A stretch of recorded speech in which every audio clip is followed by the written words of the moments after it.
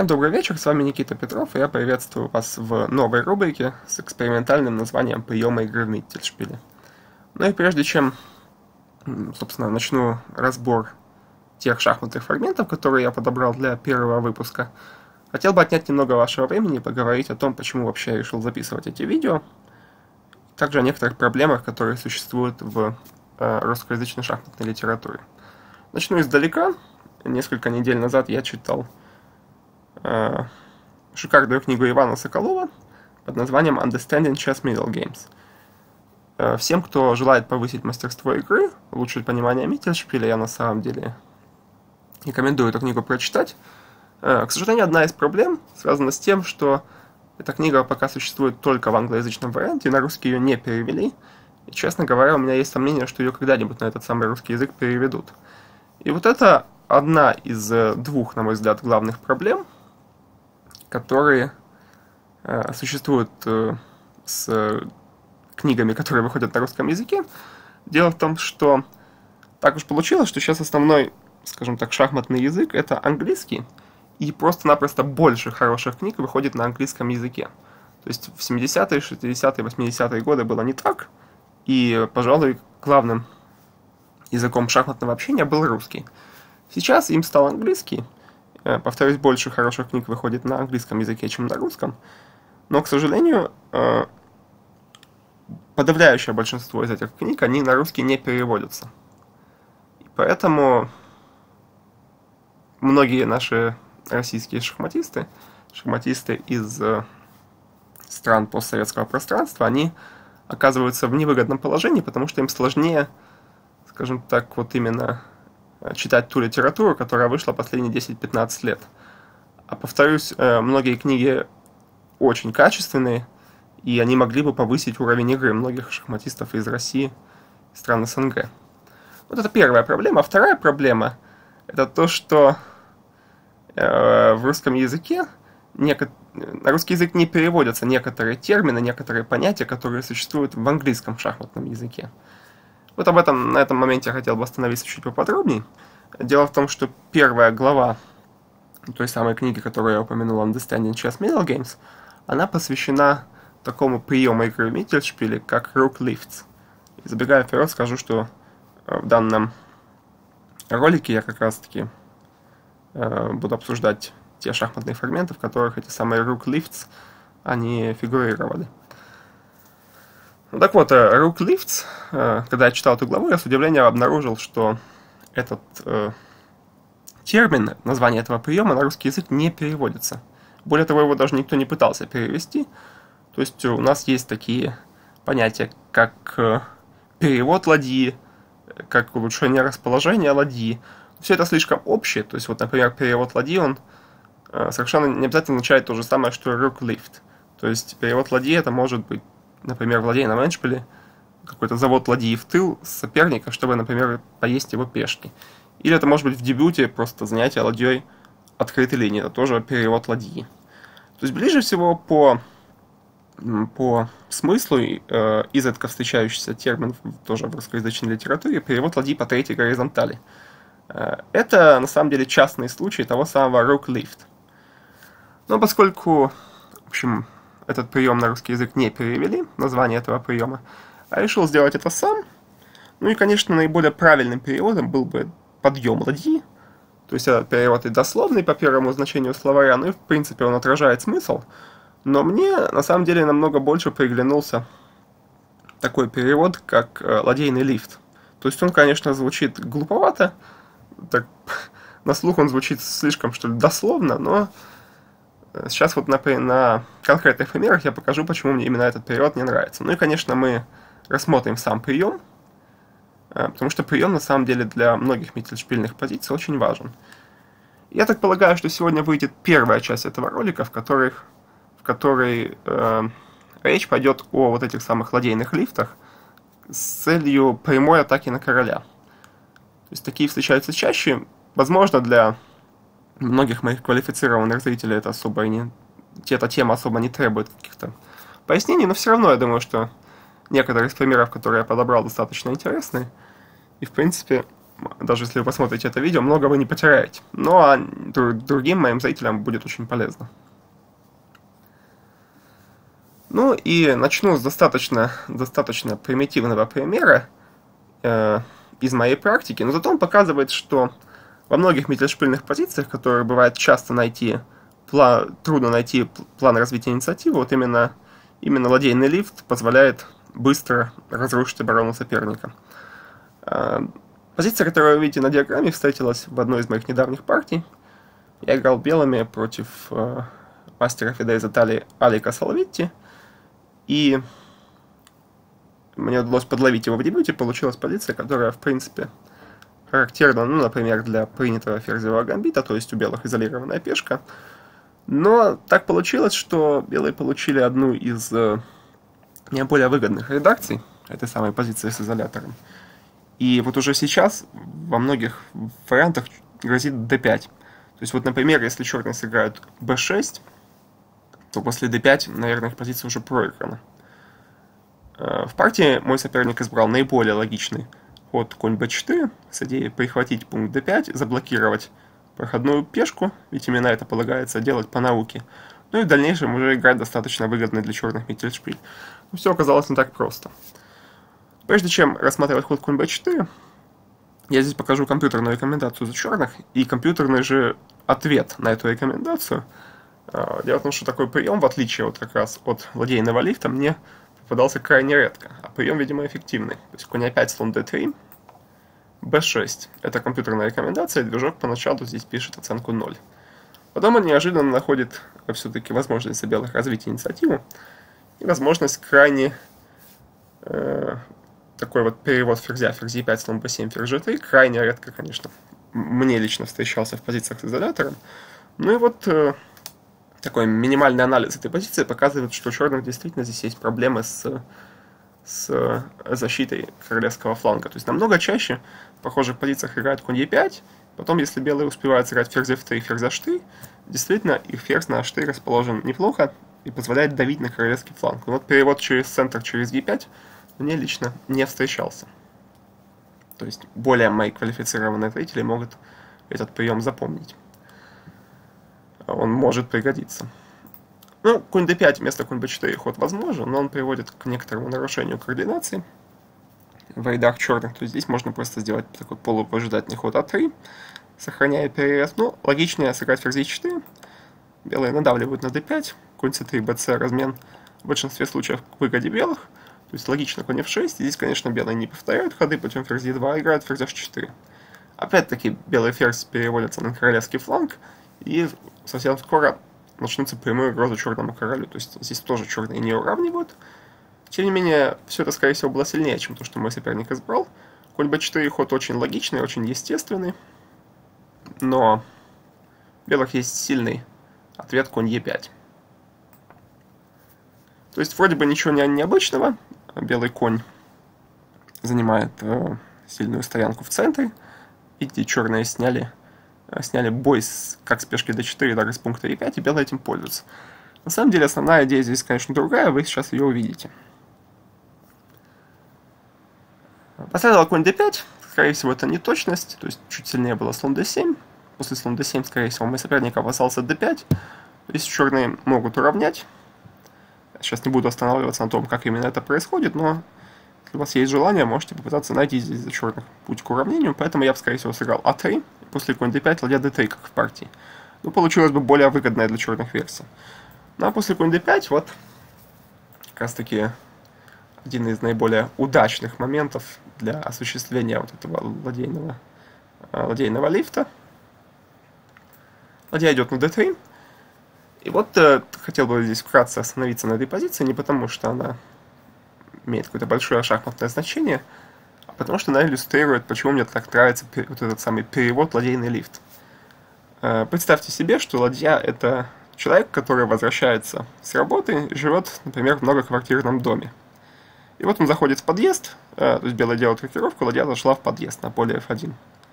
После этого человек пешком идет до лифта, заходит в лифт на поле D1, нажимает кнопку третьего этажа, поднимается на третий этаж — Дальше человек выходит из лифта, как вы видите, в противоположном направлении от того, как он зашел, как и, в принципе, и положено. Ну и идет к себе в квартиру на поле G3. То есть, видите, перевод даже, даже, скажем так, графически имеет некоторый смысл. Ну вот, и такой вот, такой вот ладейный лифт здесь серьезно усиливает атаку белых. На самом деле эта позиция уже, видимо, видимо просто проиграна для черных. И я еще поговорю об этом чуть позже, но на самом деле ладейный лифт это один из самых простых для оценки приемов в том плане, что чаще всего в миттельшпильных позициях ладейный лифт либо э, приводит к очень мощной атаке, действительно, э, либо вообще не имеет никакого смысла. То есть э, часто на эту ладью сразу начинают нападать, ее вынуждают уйти, снова уйти в центр, таким образом сторона, которая проводит ладейный лифт, теряет темп. Либо э, каким-то образом сторона, которая защищается, может поставить там железобетонный блок на королевском фланге. И тоже в этом случае ладья на королевском фланге впереди всех своих пешек и большей части фигур будет выглядеть глуповато. Но иногда, иногда все-таки ладейный лифт проходит, и когда он проходит, бороться с ним крайне трудно. То есть во многих примерах, которые я сегодня покажу, вы увидите, что вот, когда кажется, что никакой серьезной атаки развить не получается, вот буквально одна тяжелая фигура, одна ладья добавляется в атаку, оценка резко меняется. То есть эта позиция для черных, видимо, проиграна. Последовала слон d7. Ладья g3. Тут уже создается руководство слона 6. Здесь чуть упорнее было слон c6. У белых большой выбор продолжений. Сильнее всего, видимо, слон d5. Ну и простой слон 6 конь e8, конечно, приводит к позиции, в которой черным дорог хороший совет. Примеру, опять-таки, после слон d5, слон d5, ферзь h5. В партии последовала ладья e8. Э, ферзь f3. Вот ход ферзь f3 на самом деле создал э, двойную угрозу. У меня были, конечно, надежды, что мой соперник здесь защитится от более э, явной угрозы и пропустит скрытую. Но, к сожалению, он не позволил мне здесь красиво завершить партию. Конечно, белые напали на d5. Наиболее логично смотрится ход слон c6. Но здесь вы можете поставить видео на паузу на 5-10 секунд и найти э, решающее продолжение атаки. Э, в ответ на слон c6 проходит удар ладья g7. После король g7, ферзь g3. Черные получают мат либо на поле f7, либо на поле h6. Мой соперник заметил эту угрозу, поэтому просто отдал пешку на d5. Ну, помимо того, что белых теперь лишняя пешка, атака не останавливается. То есть на конь d5, ферзь f7. Король h8 здесь белые выигрывают как угодно, но мне нравится вот такой вариант. Ладья g6, ладья g8, ферзь f6. И теперь белые довольно изящно матуют. В общем, мой соперник не захотел допускать такие ужасы, сыграл слон e6. После размена здесь опять-таки любой ход выигрывает, слон g5, к примеру, неплохо. Но также проходит и прямой удар, конь g6, а ферзь d3. То есть важно не взять на g6 ладью, а вот именно подготовить взятие ферзем. И тут черные просто получают мат. Нет ни единой возможности продолжить сопротивление, поэтому мой соперник сдался. Ну, то есть, э, понятное дело, что партия для черных сложилась далеко не лучшим образом. И далеко не всегда, когда вы будете проводить э, ладейный лифт в своей партии, вам вы будете так легко побеждать. Но все-таки э, мой соперник был не совсем начинающий, мастер ФД. И видите, что против, казалось бы, простого и безыскусного ладейного лифта он оказался бессилен. То есть показывает, что во многих позициях этот прием может кардинально влиять на, на силу атаки, скажем так. Ну, давайте перейдем к следующему фрагменту. В нем встречались более, заметно более сильные шахматисты. А именно... А именно Магнус Карлсон и Виша Ананд. Эта партия была сыграна в матче на первенство мира в 2014 году. Карлсон играл белыми, и в дебюте у нас был э, берлинский, берлинский вариант испанской партии – достаточно, казалось бы, достаточно спокойная, э, спокойный дебют, но Магдус здесь нашел крайне неожиданную, на мой взгляд, возможность развить атаку на королевском фланге. Посмотрите, как это произошло. А4, А5. Ну, то есть, черным крайне невыгодно допускать ход, ход А5, который зажал бы их ферзевый фланг и создал бы проблемы для чернопольного слона. Конь b6. Белые добровольно выправляют черным структуру. Черные этим пользуются, и после этого белые захватывают э, пространство в центре. То есть ферзь c7, я думаю, что в этот момент Анан, скорее всего, полагал, что да, у белых есть э, ну, абсолютно минимальный перевес, но, скорее всего, ничего серьезного в этой партии не произойдет. Он сыграет слон b7, c5, э, ну и постепенно уравняет, и партия закончится в ничью. А раз у нас были свои планы, и Магнус сыграл ладья а3. То есть, видите, вот этот ладейный лифт немного отличается в том плане, что ладья не должна была никуда двигаться. То есть она сразу же с начальной позиции переводится по третьей горизонтали. То есть, э, считайте, что человек вошел в подъезд и сразу оказался в лифте. Конечно, э, немного, скажем так, этот пример разрушает всю вот эту графическую аналогию из реальной жизни, но, тем не менее, ход ладья 3 очень сильный. Последовало конь f8, d, d, конь h4. Вот видите, ладья идет на g3. d8, ферзь h5, f6, конь f5. Вот в отличие от предыдущего примера, в данной партии э, ладейный лифт не приводит к решающей атаке при, при правильной, сильной э, обороне со стороны черных. Здесь вот была первая возможность э, получить позицию динамического равновесия для индийского шахматиста. То есть сильнее всего сыграть конь e6, ладья g3 и просто король h8. И, скорее всего, здесь нет серьезных проблем у черных. То есть, видите, план я обозначил стрелочками. Черный сыграет c5, слон b7. В какой-то момент, э, защитив пешку на g7, возможно, сыграет конь d4. Компьютер эту позицию оценивает как 0-0-0.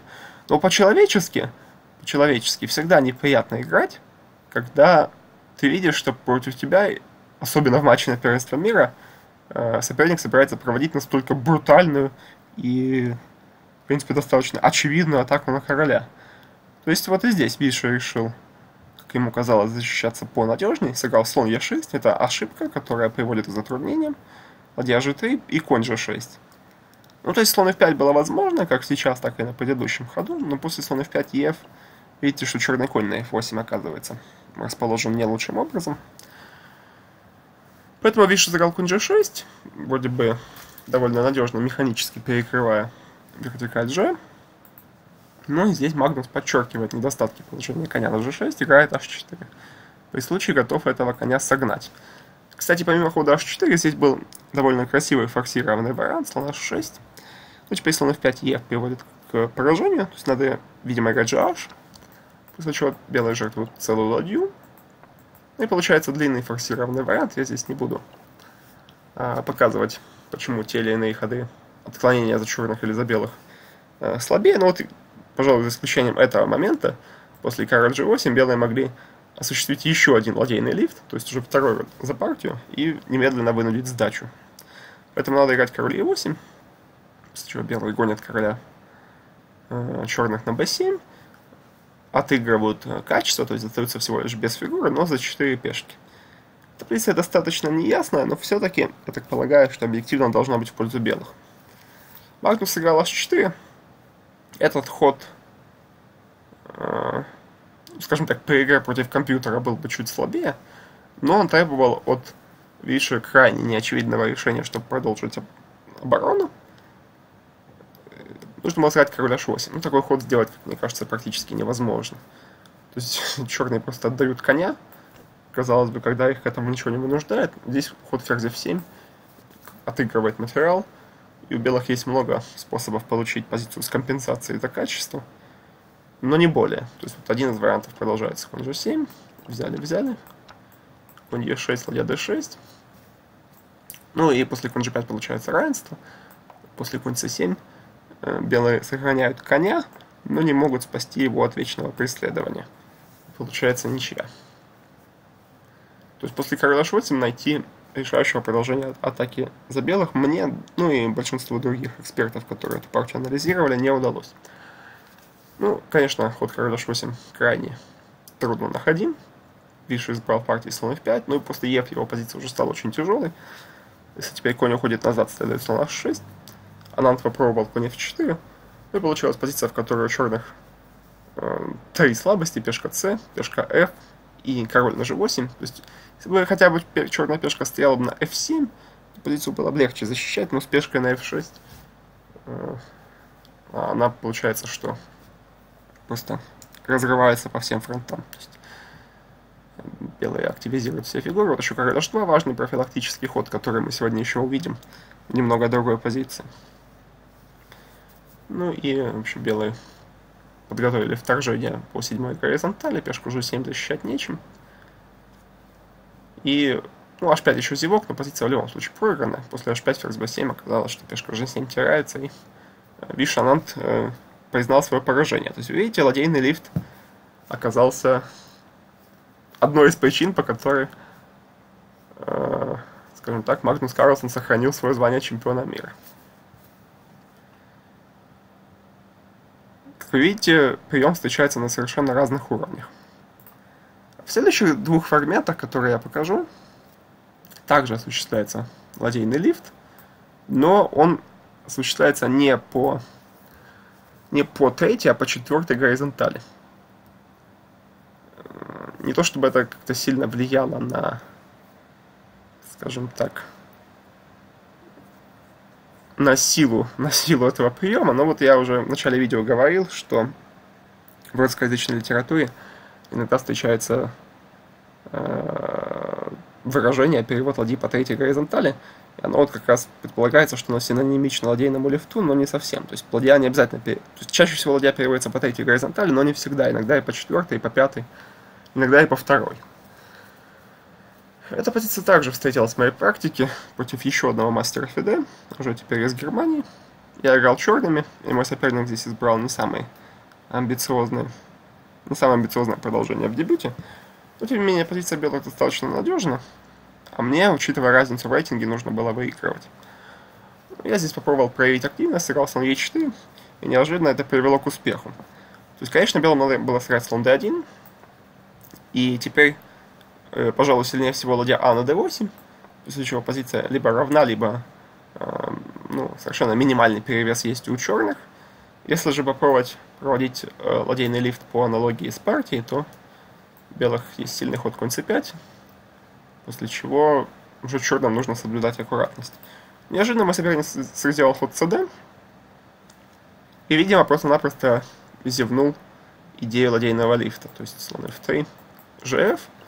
Конечно, это в принципе выглядит довольно уродливо, но, скорее всего, мой оппонент здесь э, прикидывал только варианты конь d5, ладья А на e1, ну и cd ладья А на e1. В любом случае, у черных есть некоторая инициатива, но белые, скорее всего, должны удержаться. То есть, конечно, у белых есть слабости на королевском фланге, у черных есть слабости на ферзевом фланге. И несмотря на не очень удачное расположение белого короля, добраться до него будет тяжело. Но оказалось, что после ЖФ очень силен ладейный лифт. Я сыграл ладей 5. И позиция оказалась совершенно проигранной. Здесь э, белым совершенно ничего не помогает. Э, например, на f4 следует ладья e4 с победой, потому что теряется пешка f. Ну, либо конь на a4. Ну, h4 после ладья d5 тоже позиция белая потихоньку разваливается. Последовал ладья f на e1, ладья g5. Ну и теперь на король h1 следует ладья h5, f4, конь g4. Белые не могут защитить собственного короля. Ну а после короля f1, как было сыграно в партии, здесь черные выигрывают по-всякому, но проще всего ладья бьет d5. Теперь, если ферзь отходит куда-либо в центр, то черные могут просто взять на h2. Если же ферзь отходит на h4, то после ладья d4 теряется конь. Собственно, это и произошло в партии. После хода ладья d4 мой соперник сдался. То есть, опять-таки, очень простой пример, э, когда ладейный лифт завершает борьбу буквально в три хода, в позиции, которая кажется вполне защитимой. Я понимаю, что, опять-таки, далеко не э, сильнейшая игра со стороны моего соперника, но и опять это не самый слабый шахматист с рейтингом примерно 2300. То есть, просто зачастую даже э, шахматисты со званиями FD вот этот самый прием недооценивают. Ну и еще одна партия, в которой был осуществлен ладейный лифт не по третьей, а по четвертой горизонтали. Здесь белыми играл достаточно малоизвестный, но, видимо, э, сильный э, шахматист из Монголии Гамбасурен, Мунгал Гамбасурен. Ну а черными играл э, гроссмейстер Мохаммед Аль-Мадиахи, значительно более известный. И дебют для черных сложился не лучшим образом, это была это был вариант анкеты в Старантике, где белые избрали восьмой ход слон f4, черные отреагировали не лучшим образом. Но здесь белые подметили тот факт, что ладья черных не успела выйти с поля а8, и, как мы видим, она в этой партии это сделать так и, так и не сможет. То есть последовала конь d5. Теперь белые готовы зайти на поле b6 с серьезными угрозами. Ну и к тому же грозит конь f6, после чего придется брать... Даже не знаю, кем придется брать, потому что любое взятие, как слон f6, так и ef, приведет к потере пешки. Поэтому черные, ну, по большому счету, в партии двух людей обязаны брать на d5.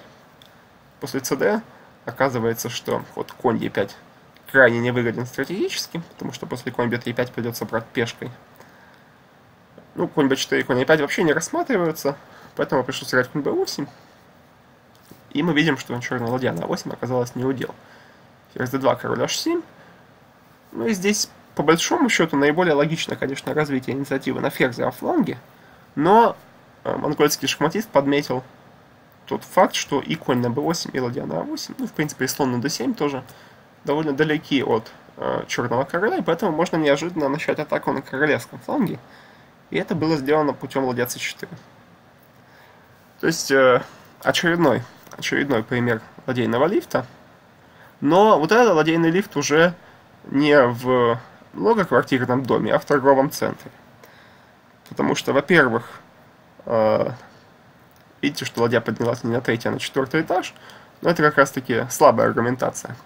А более явная причина, почему ладейный лифт осуществлен в торговом центре, то, что вы видите, что ладья зашла слева с ферзевого фланга, а переходит на королевский. В предыдущих примерах у нас ладья заходила с королевского фланга и переходила потом на королевский. То есть э, такой лифт, он чаще всего встречается, ну, опять-таки, например, в торговом центре, где двери есть и с правой, и с левой стороны. в большинстве многоквартирных домов, в которых мне приходилось бывать, такого не, не случается. Ну вот, перевод 1 на h4 очень силен. Черным трудно защищать собственного короля, последовало h5. И здесь вот белые не стали спешить с ходом ладья h4. Я так думаю, что по той причине, что иногда и ход ладья f на c1 очень силен.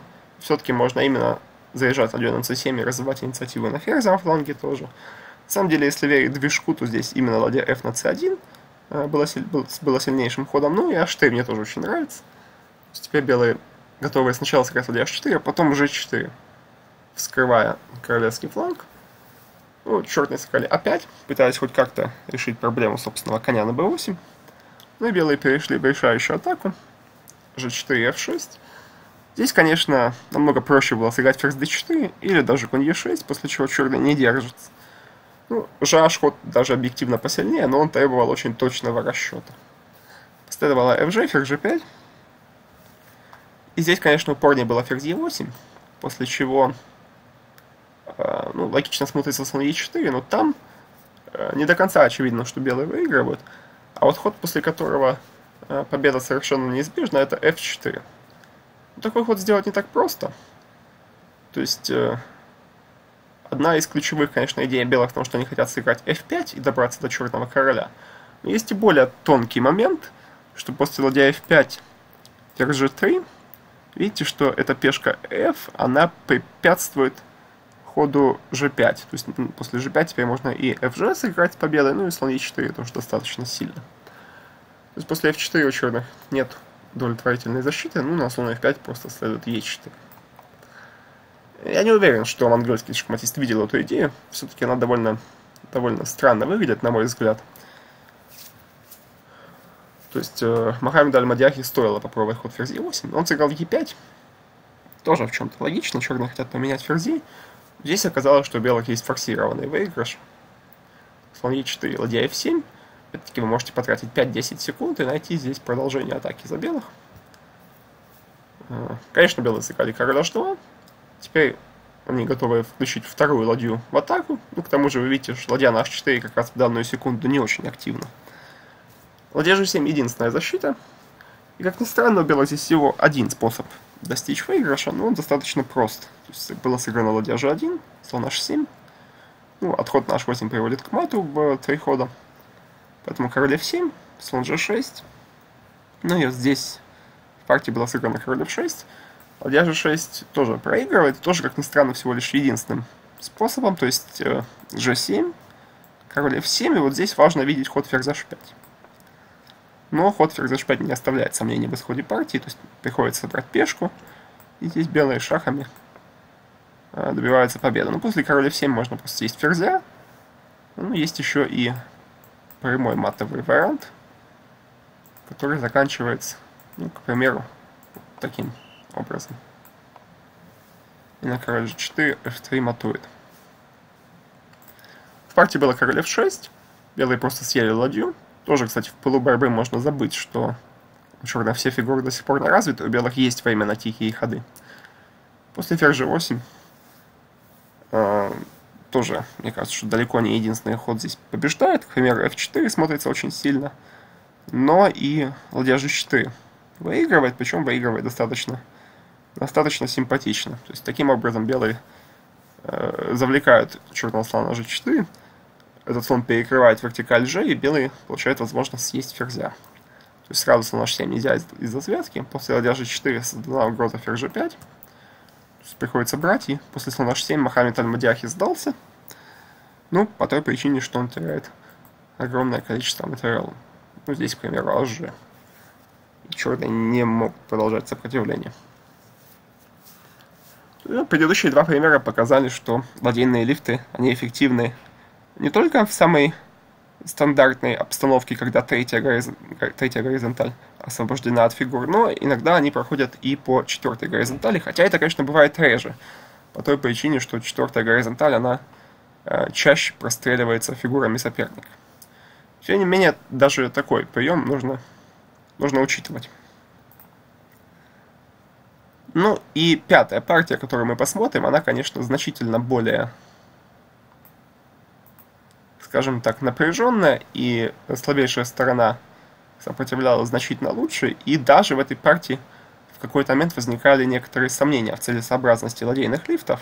Но все же я ее покажу, потому что это одна из первых партий, в которых э, встретилась эта идея. К тому же здесь был осуществлен не один, а целых два ладейных лифта. Такое бывает нечасто. Белыми играл э, четвертый чемпион мира Александр Алехин. Э, он играл против Ганса Хмоха, Ганс Мох был одним из сильнейших шахматистов э, начала 20 века. Ну, конечно, все равно по уровню игры, по классу он Алехину серьезно уступал. Белые в этой партии разыграли не самый амбициозный вариант защиты Немцовича. Ну и получилась позиция, опять-таки, позиция с изолятором. Но в отличие от моей партии, здесь э, разменено больше фигур, и по большому счету у белых нет серьезных оснований – э, рассчитывать на перерез. Видите, ладья d3 пришлось сделать не очень красивый ход. Слон d7. И здесь э, Алехин предпринял достаточно рискованную стратегию. То есть, видимо, ему нужна была победа против уступающего в классе соперника, к тому же белыми. И поэтому он начал осуществлять довольно неожиданные ладейные лифты. Которые, конечно, привели к тому, что на какой-то момент координация белых фигур оказалась нарушена. То есть компьютер очень долгое время оценивает эту позицию как равенство или даже как минимальный перевес у черных.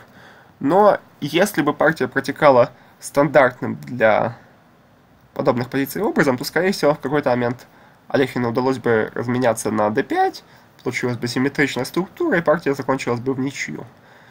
Ну, такими вот интересными маневрами ладей э, четвертый чемпион мира смог добиться того, что позиция стала достаточно разбалансированной, достаточно необычный, и в полной мере проявился э, талант э, великого русского шахматиста.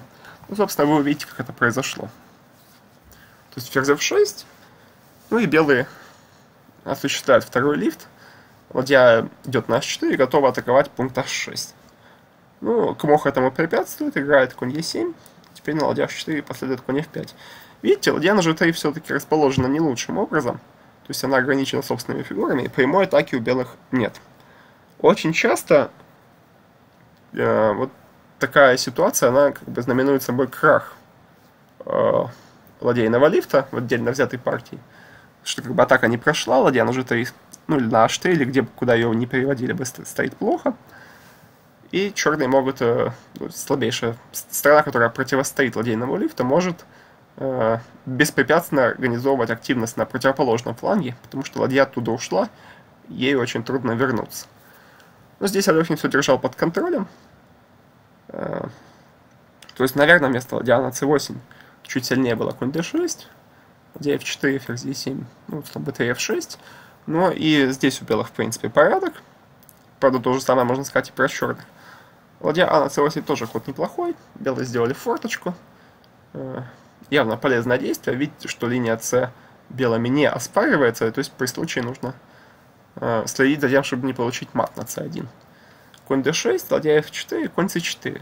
И видите, черным даже удалось э, разменять одного из главных атакеров в позиции с изолятором. И все равно у белых остается активность ввиду вот такого нестандартного расположения ладей. То есть они, конечно, зачастую плохо защищены, они могут попасть, они могут попасть под темпы, но в то же время они э, практически во всех позициях оставляют белым надежды поатаковать э, короля.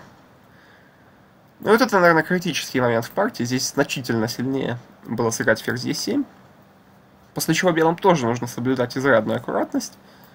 Э, в данную секунду висит конь на c4, у него не так много полей.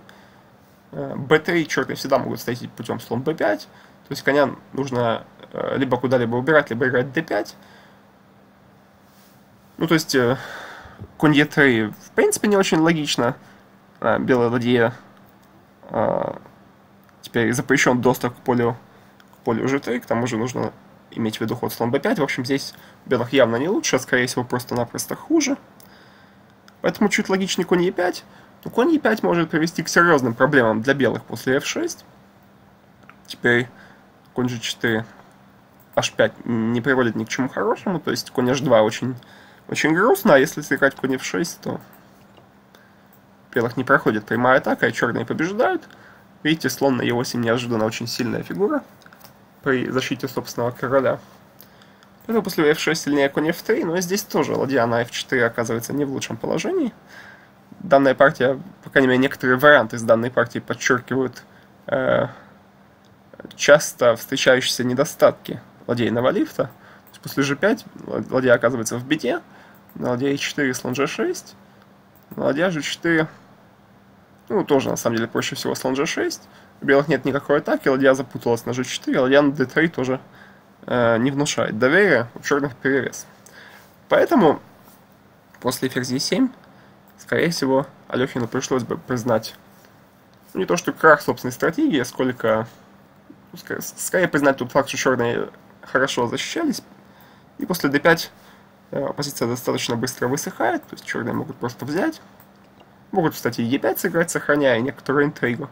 Ну, простого взятия достаточно. Здесь как ферзь d5, так и конь e3 приводит к равной, ну и по большому счету ничейной позиции.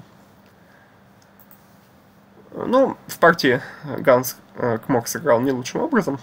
Последовало ферзь g5. Видимо, он решил спровоцировать перевод ладьи на g3. Ну, здесь я решил нарисовать, нарисовать все маневры белых ладей, в том числе два лифта, то есть один лифт с 1 на c3, второй лифт с e1 на e4. Как мы видим, здесь у нас встретился и лифт в торговом центре, и лифт в многоквартирном доме. Это оказалось очень эффективно. Ферзь d5, конь e3. Компьютер все еще считает, что черные эту позицию могут оборонять, но по-человечески уже очень непросто. То есть, э, наверное, чуть сильнее было ферзь d6. Все равно после ладьяев на g4 пришлось бы делать некрасивый ход g6 или g5. И белые владеют инициативой. После ферзь c6 последовал Э, сильный профилактический ход король h2, то есть прежде чем приступать к активным действиям, э, белые э, таким образом хотят обезопасить собственного короля от шахов, то есть также не допускают размен ферзей на поле c1. Здесь был последний шанс сыграть ферзь d6, после ладья f на g4 позиция в пользу белых, но можно продолжать сопротивление. Последовала ферзь c1, это решающая ошибка, после ферзь b4 казалось, что Белых очень много угроз, главное из которых ферзь e7. Черные вынуждены были прикрыть это поле, заодно нападая на ладью. Здесь белые нанесли разящий удар d5. И оказалось, что после ед конь f5 э, с черным королем здесь расправляются. Пришлось сыграть опять. Белый ферзь только приблизился к черному королю. Стало еще тяжелее. Здесь после еда побеждает ферзь d4. И черным, у черных нет возможности защититься. То есть после g6, к примеру, конь f5 заканчивает борьбу. Кмах попытался сыграть ладья d6. Ферзь e5, g6. Ну, здесь у белых много путей к победе. Э, честно говоря, наиболее логично смотрится ход конь g4. Ну, Алехин избрал э, наиболее эстетичное, что ли, ферзь h5. Ну и, конечно, здесь вся эстетика проявляется в варианте король h7. После короля h7 у белых всего лишь один способ добиться победы. И можете остановить видео на 5 секунд и найти здесь решающее продолжение. Э, белые могли бы сыграть конь g4, после чего висит на h6, приходится брать ферзя и э, получается вот такой вот задачный мат. Э, к сожалению, Ганск Мох не стал допускать такой финал партии. Вместо этого избрал скучный ладья d5. Остался без качества, без малейшей контр-игры. Ну и здесь Алехин предпочел просто разменять ферзи и вынудил немедленную сдачу.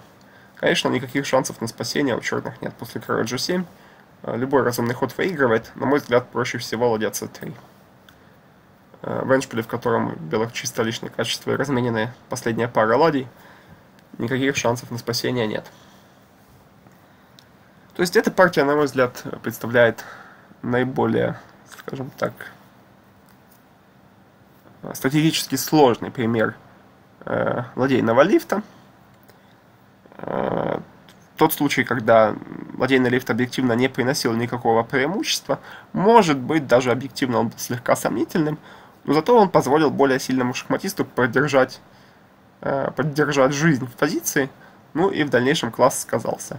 Вот сыграли очень какой-нибудь примитивный, примитивную, исполнил на какую-то примитивную централизацию ладей по вертикалям там D и C или D и E, скорее всего произошла бы массовая разгрузка в центре, и партия закончилась бы в ничью. Ну и, чтобы подвести итог сегодняшнего видео, э, я покажу, пожалуй, объективно наиболее слабую из всех представленных партий, но зато мне черными также играл э, чемпион мира, по крайней мере, в будущем чемпион мира, Владимир Крамник. Партия была сыграна в чемпионате Советского Союза 1987 -го года. И э, против Владимира Крамника белыми фигурами играл э, международный мастер, также э, известный автор шахматных книг, кстати, очень неплохих книг, Илья Одесский. Почему я выбрал эту партию? Конечно, не по той причине, что я играл Крамник, и, как мы увидим, сама партия не самого высокого качества, но зато она показывает, что э, ладейный лифт встречается э, не только в Метельшпиле, но иногда он даже является частью дебютной стратегии. Конечно, таких дебютов не так много, но вот наиболее ярким примером является Будапештский гамбит, который Крамник как раз избрал в этой партии. Когда Крамник стал мудрее и сильнее играть в шахматы, конечно, от Будапештского гамбита он отказался, но в 12 лет, я думаю, можно играть даже более сомнительные дебюты. А белые избрали главную, главное возражение на Будапештский гамбит, на мой взгляд, одно из самых сильных. Конь e5, слон e2, ладья e8, b3. Ну и получилась структура, которая из общих соображений является крайне невыгодной для, для черных, потому что белые оказывают серьезное давление по центральным вертикалям, у них более гармоничное развитие, и при случае они будут накатывать центральные пешки F и E. Поэтому э, черным нужна контр-игра, и чаще всего эта контр-игра организуется путем А5, с идеей перевести ладью на королевский фланг. Ну и по состоянию на 2018 год, конечно, тот ход, который избрал Илья Одесский, отошел на второй план – Э, мне кажется, что сильнее всего здесь конь А4.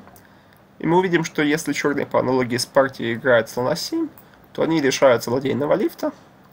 Если же они играют слон F8, то ну, слон B2 достаточно неплохо, но сильнее всего F4. Все эти слон ушел с диагонали А7, G1, теперь пешка Е3 не под боем, и у черных серьезные проблемы на самом деле. То есть, э, по большому счету, вариант конь 4 это одна из причин, по которым, по которым Будапештский гамбит не встречается современной практике на высочайшем уровне. В партии была сыграна более логичная слон b2. Крамник успел, успел начать ладейный лифт. Э, ферзь d5. Слон a7. Ну, здесь у белых практически на каждом ходу были альтернативы, но в принципе до поры до времени Илья Одесский играл неплохо. Конь e4. Здесь, возможно, объективно чуть сильнее ладья h6. Такая вот временная жертва фигуры. Белые могут э, продать этого своего личного слона подороже. И получается позиция, в которой у белых есть, видимо, минимальный перевес. Может быть, из этих соображений ладья e6 ход и посильнее. По крайней мере, поамбициозней. Но все равно белые здесь должны сохранять инициативу. Можно было сразу взять на 5, конь g3 тоже неплохо, d6. Ферзь за 5, слон b6, ферзь c3. Ну и вот здесь после ладья h6 была последняя возможность для белых, э, скажем так, не допустить серьезную атаку на собственного короля. Ну и, кстати, эта возможность также позволяла им бороться за перевес. То есть нужно было сыграть f4. Конечно, Крамник в ответ на ход f4 наметил продолжение ферзь h4. Ну и кажется, что белых все совсем плохо, но вот есть очень сильный ход слон h5. Белые механически перекрывают вертикаль h, препятствуют мату собственному королю. Ну и оказывается, что здесь э, во всех вариантах черных подводит слабость пункта g7. И у черных есть какая-то минимальная компенсация за пожертвованный материал, но у белых при этом явный перевес. Ну, не забывайте, что все-таки играли два э, юниора, пусть и достаточно талантливых. Тем не менее, все тактические возможности в позиции находить было довольно сложно. Ну, к тому же, не забывайте про психологический эффект ладейного лифта. В этот момент явно Илья Дескому было очень некомфортно смотреть на эту позицию и видеть, что сейчас ферзь пойдет на h4, белые будут получать мат. Поэтому последовал ладья на d1. Это, конечно, ошибка. После ферзь h4 белые стали защищаться пассивно. Ладья g6. Э, здесь был последний шанс не проиграть. Нужно было сделать вкрадчивый ход ферзь c2. Как ни странно, видимо, даже здесь белые сохраняют, сохраняют объективно некоторый перевес. То есть на слон h4 просто g3. Ну, а идея хода ферзь c2 в том, что белые при случае готовы вырубить коня на e5 и э, уменьшить атакующий потенциал черных. Но Одесский этот ход не, не нашел, сыграл b4. Ну, b4, конечно, ход очень слабый. Белые пытаются создать какую-то контр-игру, но они никак не решают проблему с собственным королем и еще создают дополнительную слабость на ферзя фланге. Крамник подметил этот момент, сыграл слон g4, и после размена на g4 оказалось, что висит пешка на c4. А также черные создали некоторые тактические возможности. Объективно здесь белые должны были ответить король h1, ну и просто играть эту ужасную позицию после ладья c4. У черных и громадный перевес. Ну а c5 привело к форсированному проигрышу. Последовало конь f3, король h1, ферзь f2. Конь g3, защищаясь из последних сил – ну опять-таки можете остановить видео на 5-10 секунд и найти здесь решающее продолжение атаки за черных. Владимир Крамник, который уже тогда был весьма одаренным тактиком, сыграл конь h2.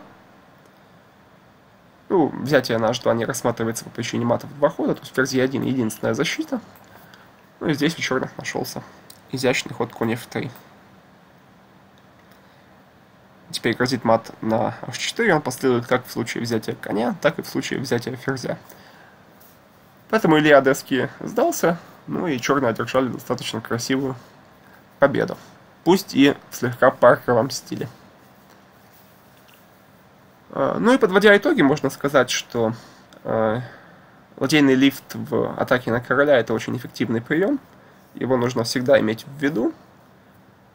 То есть, да, э, зачастую он оказывается недостаточным для решающего усиления атаки, и в этом случае э, ладья впереди собственных пешек оказывается не удел, но очень часто, очень часто именно тяжелая фигура, именно ладья это то, чего не хватает э, многим атакам на короля для того, чтобы увенчаться успехом. Поэтому э, всегда имейте в виду вот этот вот стратегический прием. Э, надеюсь, было интересно. Э, для вас, э, скажем так, эти фрагменты подбирал и комментировал Никита Петров.